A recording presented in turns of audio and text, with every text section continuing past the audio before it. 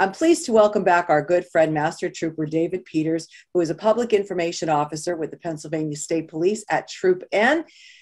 Trooper Peters, so glad to have you here with us. Each year at this time, we talk about the summer weather, and there are things for people to keep in mind as they travel. So, uh, what is your list of important uh, reminders for travelers as they head out during the summer weather? As everyone knows, your, your traffic's going to be increased, uh, whether that's around, you know, particularly in general around a holiday, if they're traveling uh, to and from someone's house for a holiday or going on vacation somewhere and they choose to travel uh, via car, you know, be be prepared. Um, that's the most important thing. You know, you know, check your vehicle. Make sure not only is it functioning properly, but you have all the documents. Uh, you should need like your, you know, registration card, insurance card, any kind of uh, safety materials in your car, like a safety bag that has flares or anything like that, jumper cables.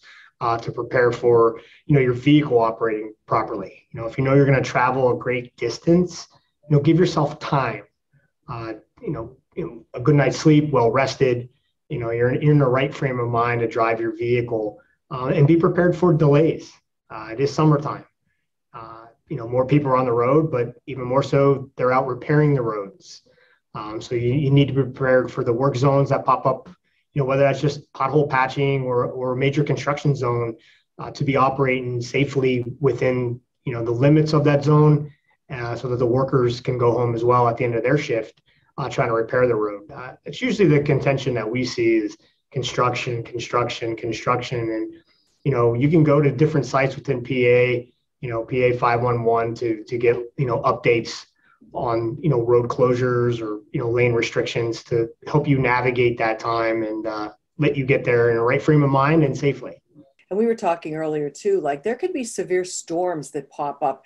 And i know a lot of people these days are listening to music on their phone or whatever in their car.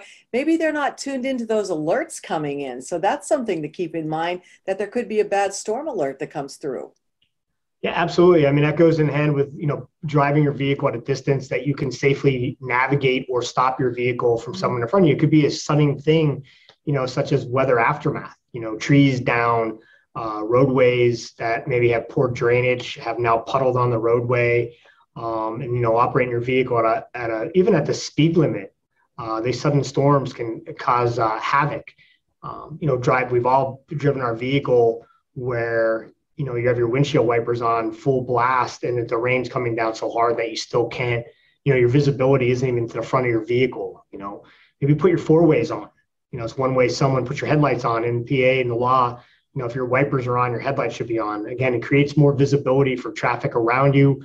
Uh, if everybody's moving slow four ways is another good way to put on. Usually when people see four ways on a vehicle they you know you know kind of equate that to some type of an emergency uh, so they start bringing their vehicle down in a slow uh, a slower manner so you know just little things like that and I know you always remind uh, our viewers about this, but some people still not aware of it. The move over law.